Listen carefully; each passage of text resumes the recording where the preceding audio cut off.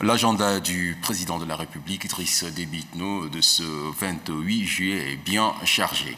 Juste après le représentant spécial du secrétaire général des Nations Unies et chef euh, du bureau régional pour l'Afrique centrale, Idriss Déby reçoit une délégation d'investisseurs américains, Team for Africa, conduite par son président directeur général Ron Yeffet.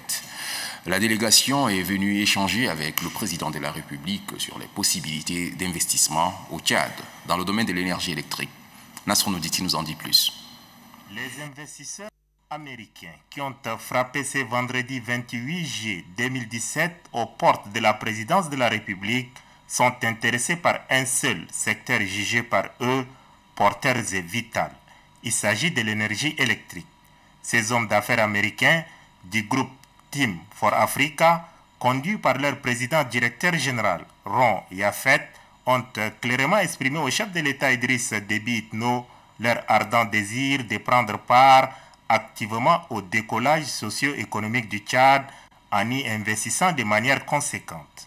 Pour cela, ils envisagent doter la Société nationale d'électricité d'une centrale électrique de nouvelle génération.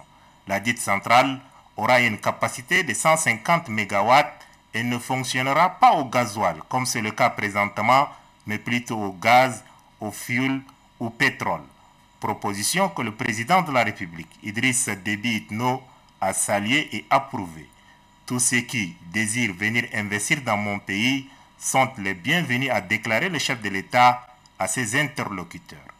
La délégation des investisseurs américains et la partie tchadienne se réuniront dans les jours à venir pour élaborer et signer un contrat en bonne et due forme.